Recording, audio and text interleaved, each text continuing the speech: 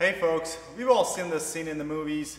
The good guy, which is usually a detective, gets that emergency call and then all of a sudden he needs to get his hands on a car to drive there.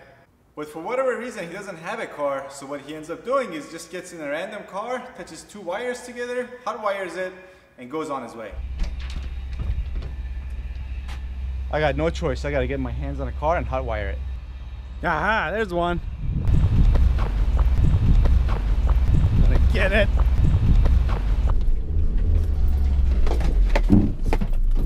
Don't be afraid, sir. I'm a police officer, but I'll need your car. Okay, officer, you can have it.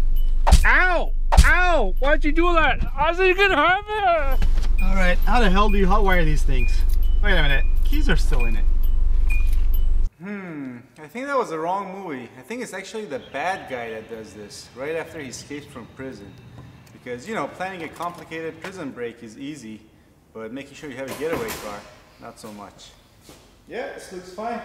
I'll take it. That's it, that was the right movie. But the question is, can you actually hotwire a car like you see it in the movies and simply drive off into the sunset? So if you want to find out, I recommend you watch this video all the way to the end. Not only you'll have an answer to that question, but you will also learn a lot about your car's starting system. Alright, now in order to be able to hotwire a car, you're going to need access to the wires that come out of the ignition switch, which is usually at the end of your ignition lock and cylinder assembly. Now obviously it's missing on this, but I'll show it to you on the car. Now in order to gain access to the ignition switch, you might have to remove a couple things depending on where the ignition lock cylinder assembly is located. So for this car, since this is located here, we're gonna have to remove this kick panel to gain access to the back of this. See on a lot of cars, the ignition assembly is located on the steering column, in which case you would then have to remove these screws on the bottom of the cover before you can remove it.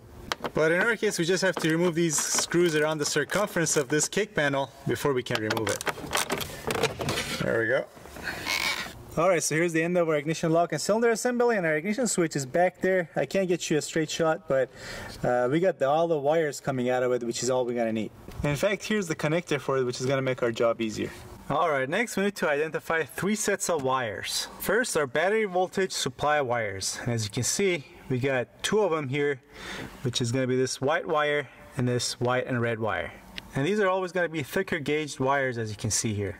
Next, we need to identify the two wires that take the power from these two wires and supply it to our body control module and our power control module. So basically you always have battery voltage here. And then when you put in the key and turn to the on position, you set battery voltage to your uh, body and electronic control module, turning on all the lights on your dash and also getting your car ready for a start. And these second set of wires are generally going to be the same gauge as the power wires and I'm actually going to remove this connector to show you guys better. Alright, so on this connector, these two are our battery voltage supply wires. We got one thick gauge wire here, another one in front of that, and then one more, this black and yellow one, is also a thicker gauge wire. So on this car, this black and orange one is going to be for the electronic control module for our engine. This black and yellow one back here is for our body control module. And this pink and blue one is for our accessories. Oh, and I almost forgot, the third wire you need to identify is the starter signal wire. Now you usually have just one wire and this and for this car it's going to be this black and white wire. Alright, so next if you didn't have access to the connector you would need to cut all these wires that we just identified. But since we do have access to the connector, all we have to do is just to use a piece of wire to jump the connections between the power and the wires supplying all the control modules. So first I'm going to jump the connection between this white and red wire and this black and orange wire, which is for our electronic control module. Like that. And then use another piece of wire to jump the connection between this power supply wire and this black and yellow wire for our body control module. And once we connect this one, all the lights on our dash should come on. And once those two are connected, you don't have to worry about this pink wire for your accessories. Next, all you have to do is to supply 12 volts to this starter signal wire. Now if you have two starter wires, you just want to touch those wires together temporarily to crank your engine. But most cars are just going to have one starter wire. Here we go. There we go. And here's another shot. Alright, let's go around the bank. And then if you need to turn off the car, you just disconnect these wires. That's it. Alright, great. We got the car started, but what are we going to do but our wheel lock. We did not think this bank robbing thing through, did we? And there you have it folks. Hot wiring a car doesn't work like the way you see it in the movies. Even if you get the car started like we did, you're gonna be unable to turn the wheel to the left or to the right because of the wheel lock.